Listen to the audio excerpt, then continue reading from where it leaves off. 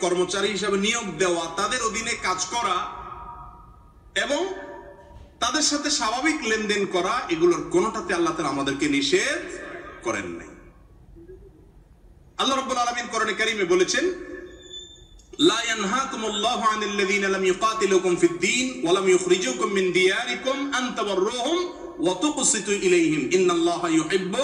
মুকসিতিন।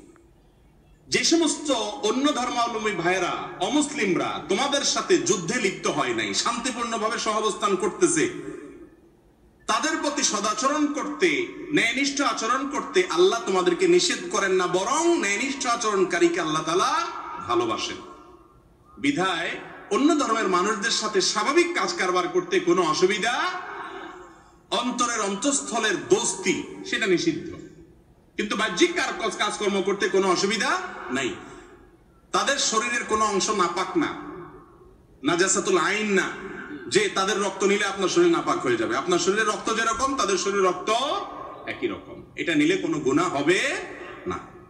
মানুষের মতে মুর্দা ঘরে রেখে কোনো কিছু খাওয়া যায় না। মুর্দা ঘরে রেখে কোনো কিছু খাওয়া যায় না। ওই ঘরের চুলায় আগুন দেওয়া যাবে না। শরীয়তের বিধান কি? মুর্দা লাশ, বাসায় থাকলে সে ঘরে কিছু খাওয়া যায় না। এটা হাদিসের কথা, কিন্তু হাদিসটা হলো হাদিসুন নেসা। বানোয়াট। বুঝতে পারছেন?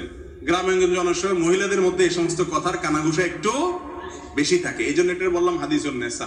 হাদিসুল রাসুল না। এটা হলো হাদিসুন নেসা। মায়ালার হাদিস।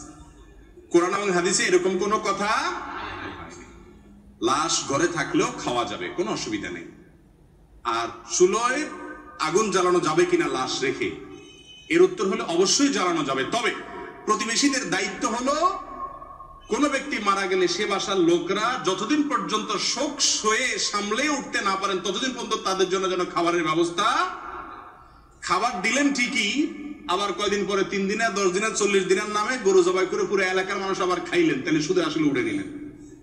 ওইরকম দুই নম্বরই খাওয়ানো যাবে না। খাওয়াবেন, কোনো বিনিময় আশা করবেন না। তাদের বাড়িতে চুলা জ্বালালে কোনো গুণা হবে না, কিন্তু এলাকাবাসীর দায়িত্ব হলো তাদের যাতে চুলা জ্বালাতে না হয়, সেজন্য খাবার তাদের জন্য পাঠানো। নবী করিম আলাইহি সাল্লাম বলেছেন ইসনাউলি আলি তালিব তাআমান তোমরা আলে তালাবের জন্য খা আলে তালাবের জন্য খাবারের ব্যবস্থা করো, কারণ তারা তাদের প্রিয়জনকে হারিয়েছে, মন খারাপ। এই জন্য তাদেরকে খাবার দেওয়া কি? সুন্নত।